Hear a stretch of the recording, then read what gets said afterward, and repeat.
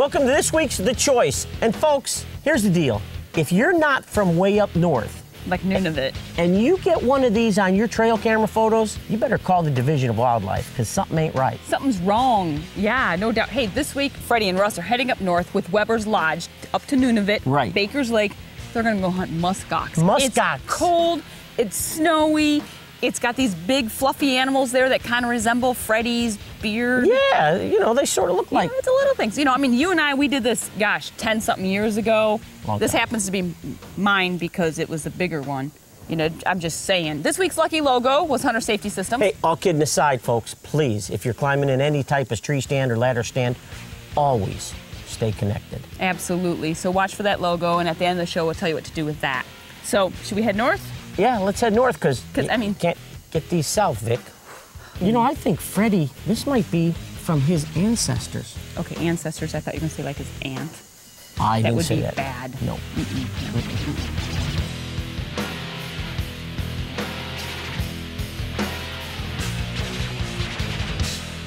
So back in February, we're at the Harrisburg show in Pennsylvania, and we're there with Russ, and wouldn't you know it, Russ and Ralph come up to me and ask if I wouldn't like to go on a muskox hunt. We decided that we'd take uh, Freddy along with us and see if we can put him through the, the abuse of the tundra.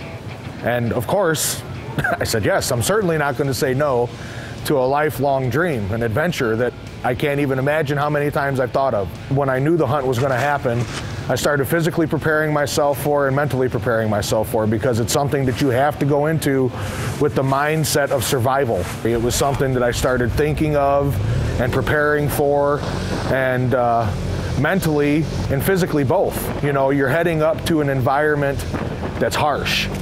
Uh, harsh is probably even an understatement. So once Freddy committed, uh, I decided I'd jump in as a posse member and cameraman. We're good to go. And also being part of the operation, I wanted to have firsthand knowledge so I could be comfortable telling hunters exactly what to expect when we get up there. Got some time to kill, got flown in, got checked into the hotel. We came to check out the Winnipeg uh, Cabela's. Why not, right? Nothing better to do. Got a few things to pick up, probably some hand warmers because we are heading to the Arctic. So uh, just want to make sure that we have stuff, uh, some minor things that in case something goes wrong, we're ready uh, to replace it right away. So just going to grab a couple things while we're here before we get up into the Arctic to make sure that we are 100% covered for the muskox hunt of a lifetime. I see snowmobile helmets. I'd like to have a pair of goggles. After Cabela's, we headed out to the airport. Uh, you get an early morning flight from Winnipeg to Churchill. We just landed in Churchill. Got about a half hour layover before we jump on the same plane to get to Rankin. Uh, it's about minus 12 Celsius here. Uh, Freddy says in Fahrenheit, that's really cold. Fahrenheit, Celsius, it's cold already. But it don't matter. Because in a few hours we're gonna be in Baker Lake getting ready to go kill a muskox. then you go from Churchill to Rankin Inlet, and then finally Rankin Inlet to Baker Lake. Well, we are up here in the Arctic. Baker Lake, Nunavut with Webber's Lodge. A little bit south of the Arctic Circle. We were pretty much blizzard condition, whiteout condition, snowed in all day. Pretty much what we expected coming up here. I mean, we are in the Arctic, so we knew that the weather was gonna be pretty extreme. Now that the weather's broke a little bit, it looks like it's gonna be a beautiful night. Very, very unique way of life up here. Snowmobiles, going three deep on a snowmobile, a baby on her back and another kid behind her. It's how they roll up here in Baker Lake.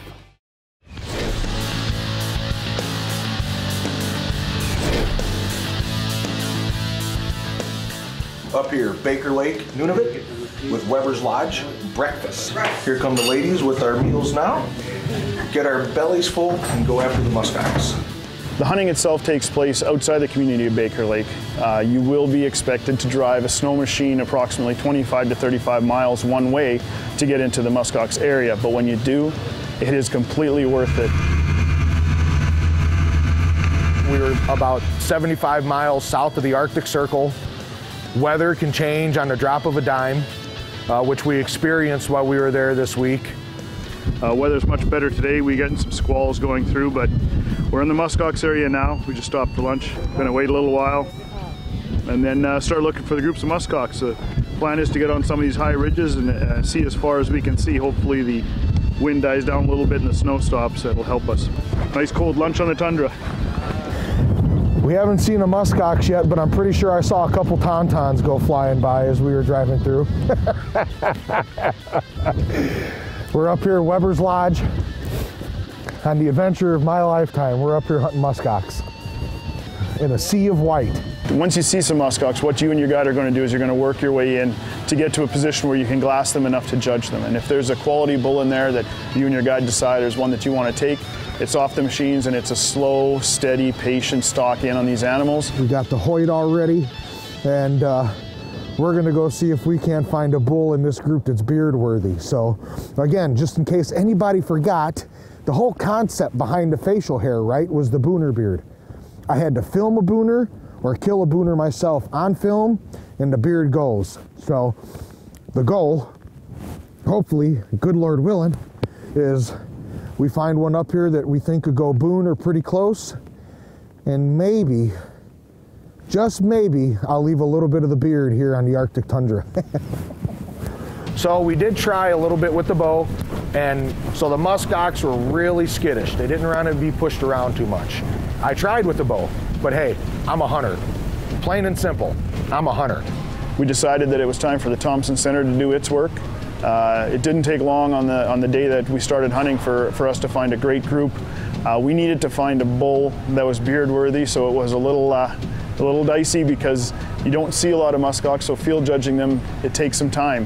So we decided to put the bow away, got to within range of the rifle, the old TC 308, our buddy Luke's gun, and got to within about 100 yards of that big old bull that Russ thought was beard worthy put the TC on the bog pod, and the first bullet I touched off, and you could hear that bullet hit him crack. You hit him. And I came a long way, so I jacked another one in the chamber. He was still standing there, good broadside shot, put the crosshairs right on the shoulder. There, he got him. Hammered him again, and he hit the deck. There he goes, he's going down, baby. we have a muskox down in Baker Lake, Nunavut. Brother man, give me love. Thank you very much, Webber's Lodges. Oh, what a dream come true. Gun safe, magazines dropped. Let's go put my hands on my first muskox. this is cool. Everybody knows Freddy is the emotional guy, and I'm okay with that because I've got to live a lot of dreams doing this job. And again, the emotions overcame me. I got up to this animal that made the whole world look small at that point. Oh boy. All that was going on right then was me and my muskox. I'm very blessed to be sitting here right now. So, uh, excuse me if I get a little emotional. Uh. We got out this morning. We're about a two hour ride from camp on the snow machines. Got to the top of the ridge over there and spotted this bull amongst the herd of muskox. There was probably 40 or 50 in the herd. We collectively as a group seemed to think that this guy was probably the biggest in the group. So we picked him out, set our sights on him. We are able to close the distance to about 110 yards and the old TC 308 barked and put him right down. Couple shots right behind the shoulder. He went about 10 yards and piled up. Again, I gotta say thanks to Ralph and Vicki for helping me live another dream. Russ and everybody here at Baker Lake, Nunavut, and Webber's Lodges, all the great guides.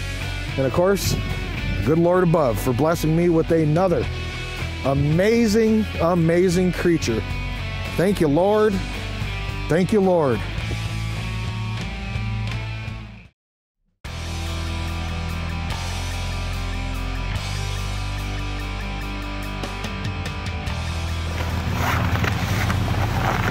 We're gonna go same area as we went yesterday. And then we're loading up right now. We got the sleeping bag and whatever extra clothes we need for food, rifles, and uh, we got the tarp, got extra gas. These are two herds of at least 70 or so.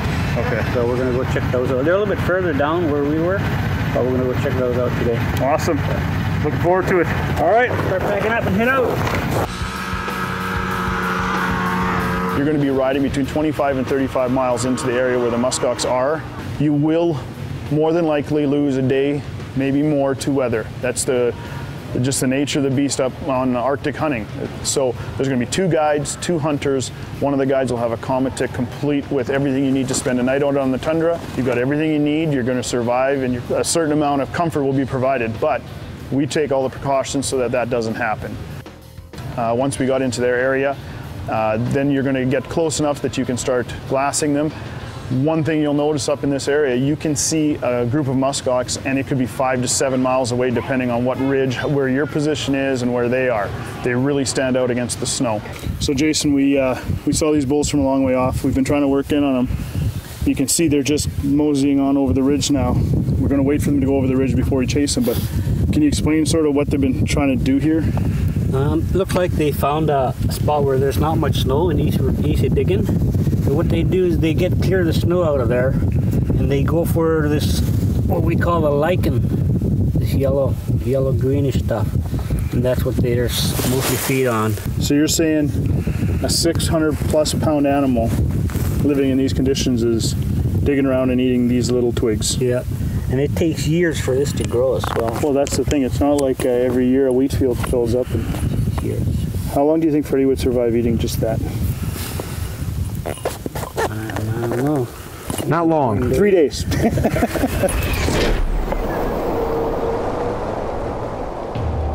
Once we located the herd, we got close enough to, to make sound judgment on, on if there was a bull that we wanted to go after in there.